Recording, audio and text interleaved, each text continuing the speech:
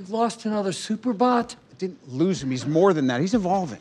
I had strings, but now I'm free. There are no strings on me. Had strings, but now I'm free.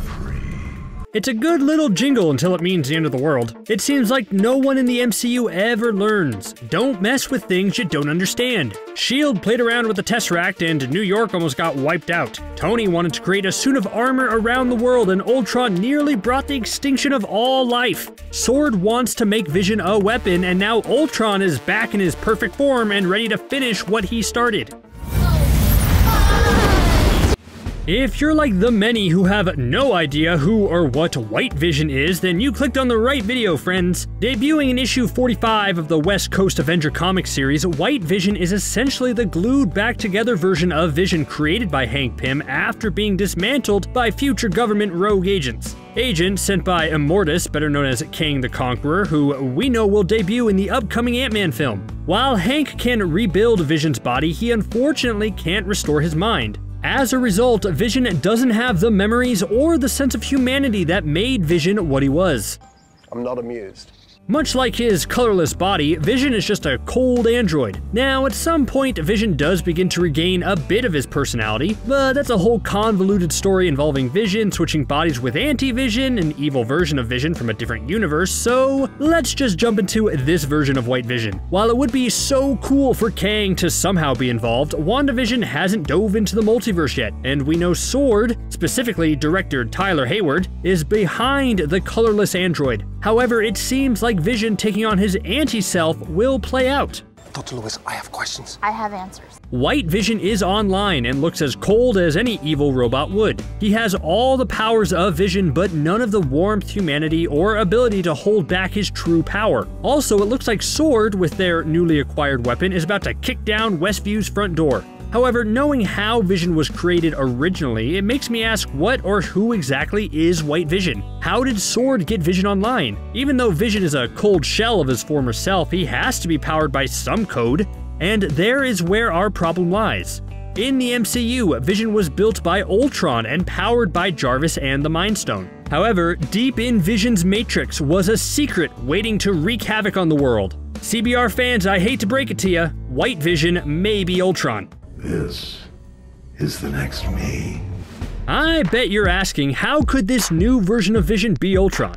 Ultron was destroyed at the end of Age of Ultron. This is the tricky part because while Ultron was destroyed at the same time, he wasn't. In episode 7 of WandaVision, Vision drops an interesting line. This seems like nothing but a throwaway gag, but as the MCU does with everything, this line serves the purpose of reminding the viewer that Vision was created from Ultron. This is where the danger lies in Sword's plan to bring Vision back to life. Somewhere deep within Vision's matrix could be Ultron hiding away, waiting for his move to strike. We know that Ultron is somewhere in there too. Before Jarvis was uploaded, Ultron tried to upload his consciousness but failed. However, it doesn't mean strands of his code didn't stick around. It's the exact fear the Avengers had when Thor brought Vision to life. However, paired with the Mind Stone, it's almost as if the consciousness of Jarvis and Ultron fused, giving birth to Vision. So I'm not certain what triggered you. Where's my. Where's your body? with Jarvis being the framework and the backbone.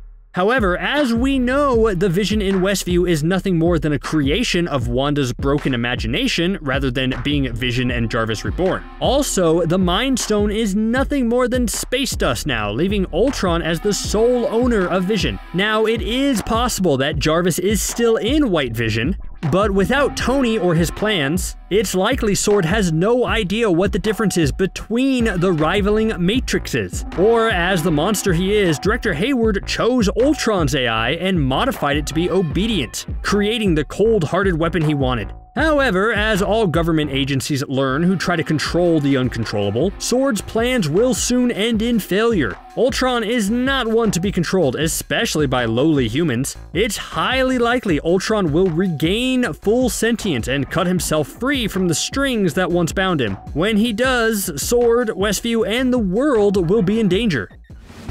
What could Ultron's return mean for the season finale of WandaVision, and even more so for the future of the MCU? As mentioned before, at first it's likely Ultron will be under Sword's control. However, once he crosses paths with Vision, all bets will be off, as seeing Vision may be the catalyst that will awaken Ultron's true self.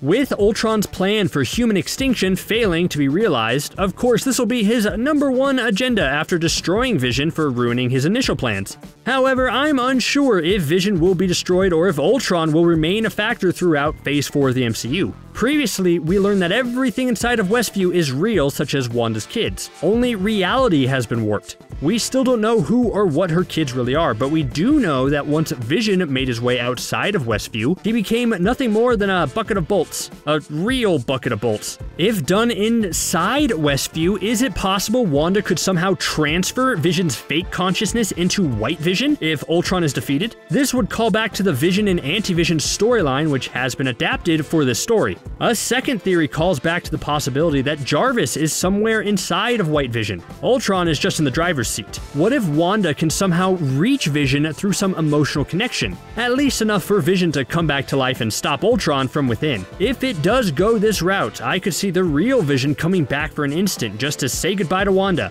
I came back and died again. And she had to watch. Much like the comics, we would be left with White Vision, who has been factory reset and fighting to become his true self. Going this route would allow Vision's true origin story to be told through the introduction of Wonder Man, which would be awesome. However, Wanda losing Vision for a third time would be her breaking point, causing the event that sends the multiverse into madness. A cool fact we didn't talk about is Vision's true origins, aka the Human Torch. Not the one you're thinking of, but the cool suit of armor that was displayed at the Stark Expo in Captain America. Maybe this will be the way Vision truly comes back to life? A man can dream, right?